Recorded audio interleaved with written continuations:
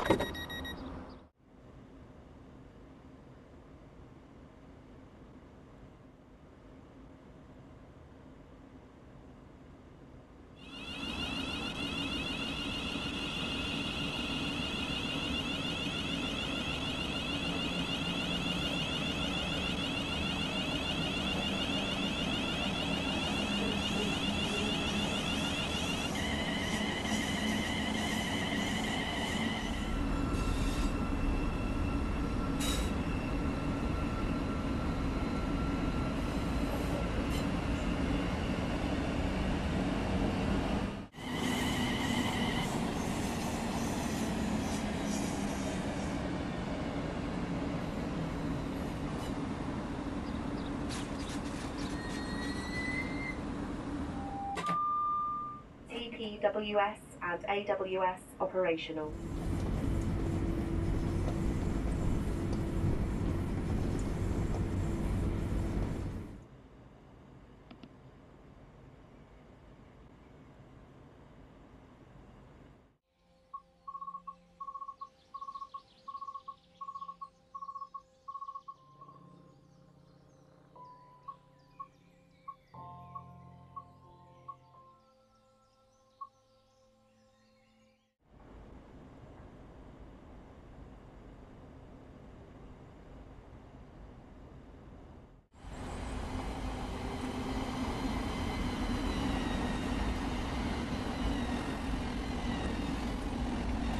Thanks for watching. Be sure to subscribe.